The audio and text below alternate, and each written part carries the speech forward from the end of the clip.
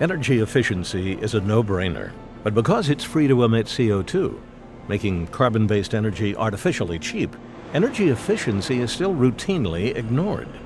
Besides buildings, that's a huge mistake in the industrial world. In the industrial setting, what happens is lots of industrials are throwing away really, really hot gases that they haven't recaptured as power because they're not in the power business. And at steel mills, you'll see these big flares.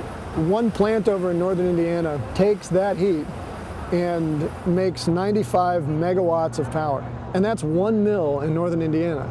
And the amazing thing, if you stand on top of this mill, is you look around the rest of northern Indiana, you can see flares. Just look around say, oh, you, you can do another one there, you can do another one there.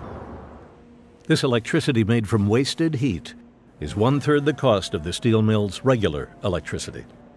And if we made use of all waste to energy opportunities, world CO2 emissions would be reduced by 12%, maybe more. I don't know of any bigger opportunity to make more money reducing more CO2 than this one. So if you don't give a damn about the environment, do it because you're, you're a greedy bastard, you know, and you just want cheap power.